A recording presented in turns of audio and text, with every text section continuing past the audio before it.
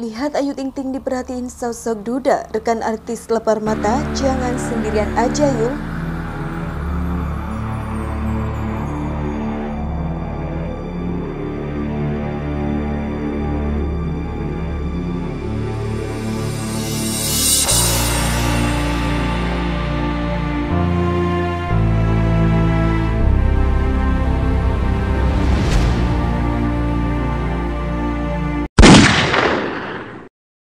Dapur berita artis terkini. Hai guys, semoga kabar Anda baik-baik saja. Selamat datang kembali di channel Duster Infotainment. Terima kasih karena sudah memberikan support dan juga kesetiaan Anda untuk membangun channel ini. Perhatian sosok duda ini pada Ayu Ting Ting buat para rekan artis lapar mata. Secara terang-terangan rekan artis lapar mata melihat Ayu Ting Ting diperhatikan sosok duda ini. Rekan artis lapar mata hingga minta Ayu Ting Ting tak nikmati perhatian sosok duda ini sendirian. Ya, sosok duda yang dimaksud adalah aktor tampan Niki Tirta. Diketahui semenjak cerai dari mantan istri, sosok Niki Tirta memang jadi pusat perhatian para kaum hawa.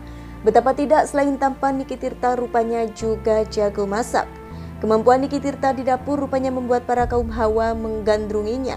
Diungkap Niki Tirta dalam YouTube Trans TV Official, ia awalnya hanya ambil kelas masak biasa, sebelum akhirnya menambahkan hati pada baking dan juga pastry. Ambilnya kelas general Indonesia sama Italian, kata Niki Tirta. Tapi lama-kelamaan kok kurang menantang ya, akhirnya coba baking kan tekniknya lebih beragam.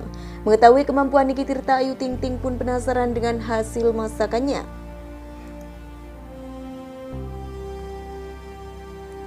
Niki kata Ayu nggak mau bawa makanannya? Tanya Vega Darwanti. Mendengar Ayu Ting Ting tertarik dengan masakannya, Niki Tirta lantas menawarkan untuk mengirim makanan.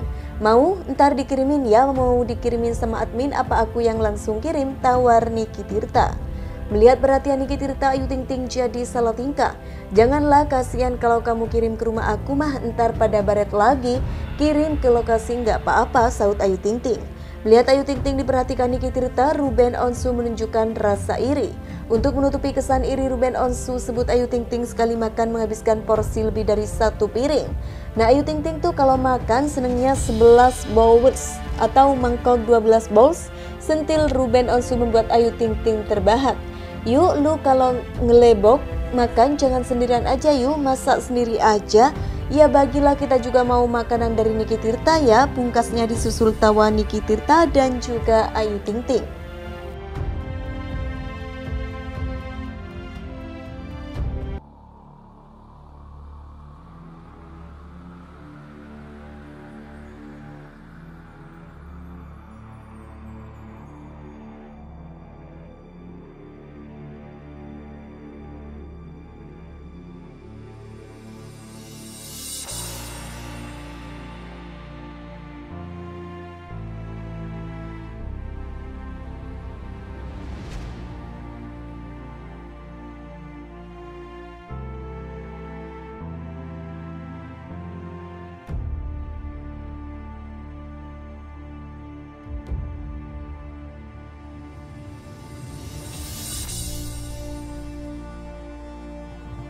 Ketahuan hamil duluan, bagaimana kondisi Ayu Ting Ting setelah dilepe oleh sosok pria ini?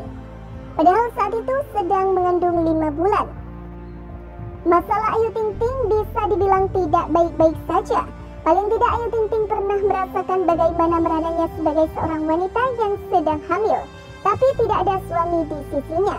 Ayu Ting Ting memang sempat menikah dengan sosok pria ini, tapi cuma bertahan beberapa saat.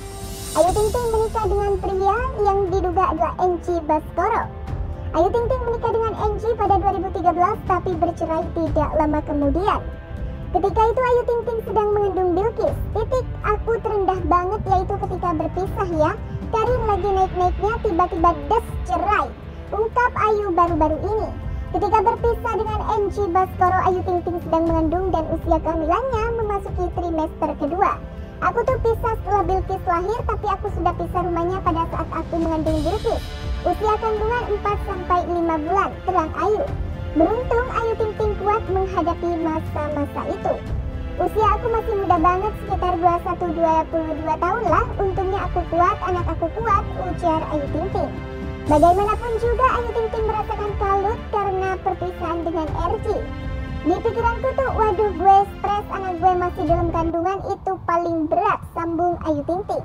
Namun dengan deretan masalah yang menimpanya Ayu Ting Ting bersyukur karena dapat melaluinya satu persatu. Ia juga merasa bahagia karena dapat tumbuh dewasa dengan masalah yang hadir dalam hidupnya di usia muda. Tapi aku bisa ngelewatin itu semua, aku bersyukur dengan adanya aku dikasih ujian dan juga masalah.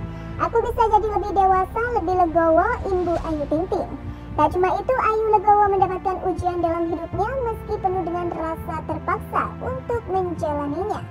Di usia muda dikasih cobaan gitu mau gak mau dewasa dengan terpaksa dengan sendirinya. Tugas Ayu Ting Ting.